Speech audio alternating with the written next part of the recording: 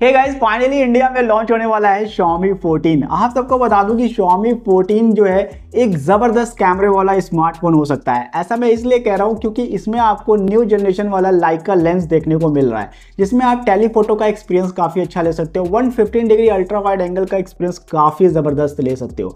आप सबको मैं बता दूँ कि कैमरा इसका में फिफ्टी मेगा का ट्रिपल कैमरा देखने को मिल रहा है fifty mega plus fifty mega plus fifty mega और फ्रंट कैमरा जो है, आपको थर्टी टू पिक्सल देखने को मिल रहा है, जिसमें आप 30 एफ़ प्लस 60 एफ़ की वीडियो रिकॉर्डिंग कर सकते हैं, वो भी आप 4K में कर सकते हैं। तो भाई कैमरा जो है ना, इसका इस बहुत ज़बरदस्त रहने वाला है। तो अगर कैमरे पर्पज़ पे फ़ोन लेना चाहते हो तो आप Xiaomi 14 को देख सकते हो। अब बात कर लेते हैं इसके परफॉर्मेंस की। तो गाइज़ कैमरा ही नहीं परफॉर्मेंस भी बहुत अच्छी है। गाइज़ इसमें आपको स्नैपड्रैगन एट जेन थ्री का प्रोसेसर देखने को मिल रहा है, जिसमें आप मल्टीटास्किंग प्लस हैवी रिजोल्यूशन वाले गेम ईजिली तरीके से खेल सकते हो।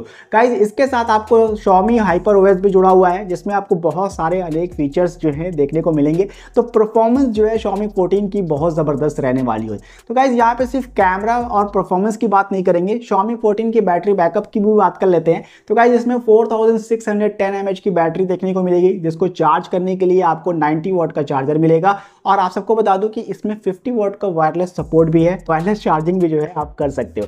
अब गाइज़ आते हैं इसके मेन पॉइंट पे कि गाइज़ इसकी क्या प्राइस इंडिया में रहने वाली है। तो गाइज़ आप सबको बता दूँ कि Xiaomi 14 की जो इंडिया में प्राइस रहने वाली है, वो रहेगी forty nine thousand nine hundred ninety rupees और गाइज़ ये बेस वेरियंट किया अब बेस वेरियंट है तो आपको बता दूँ कि रैम जो है आपको इसमें eight G B plus twelve का दो रैम देखने को मिलेगा. Eight G B one twenty eight G B वाला वेरियंट जो है आपको उनचास हज़ार नौ सौ निन्यानवे रुपये में देखने को मिल सकता है. तो गाइज़ ये थी इसकी प्राइस आप प्राइस के अकॉर्डिंग मुझे बताना कि ये फ़ोन कैसा है कॉन्फिगेशन वाइज और अगर इसकी price forty nine thousand nine hundred ninety rupees आती है तो क्या ये पचास हज़ार रुपये की रेंज में अच्छा स्मार्टफ़ोन हो सकता है? मुझे कमेंट बॉक्स में ज़रूर से बताना। तो बस आज के लिए इतने अगर वीडियो अच्छे लगे वीडियो को लाइक कर देना, चैनल को सब्सक्राइब कर देना बेल आइकन को प्रेस कर देना। Thank you so